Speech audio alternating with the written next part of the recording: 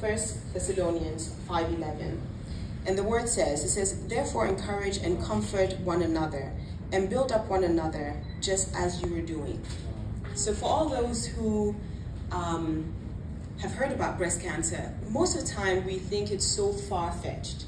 You know, um, breast cancer, maybe, you know, I won't, there's not a possibility that I get it because of the lifestyle.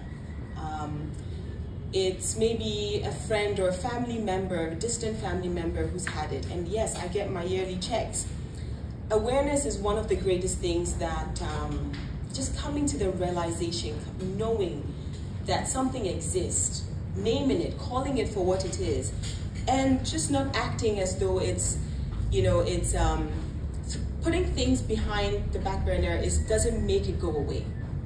It's there picking and understanding and saying this is what it is. It's called, you know, it's called breast cancer. Name it for what it is.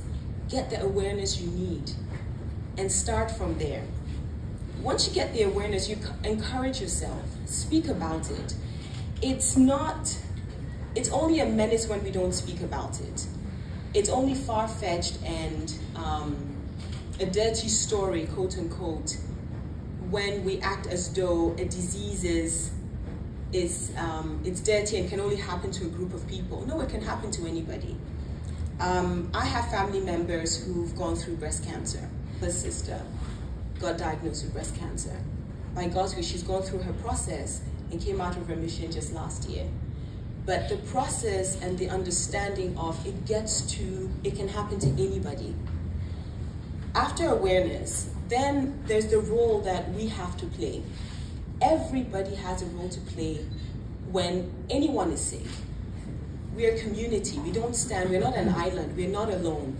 And it's extremely important that once we found that someone may or could have it, we need to encourage one another that should we find out that someone has it, let's talk about it.